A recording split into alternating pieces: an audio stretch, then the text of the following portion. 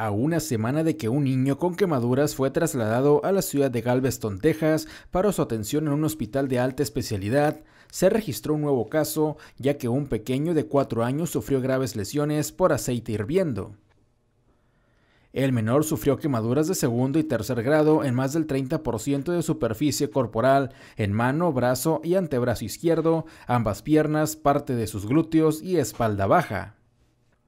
El accidente ocurrió en una casa de la colonia Colorines, al poniente de la ciudad, cuando la madre del menor estaba cocinando en el suelo y al seguir el niño resbaló y accidentalmente introdujo la mano a una olla donde hervía aceite y con la reacción del pequeño la vasija se volteó, cayéndole el aceite en las dos piernas, así como en la parte baja de la espalda.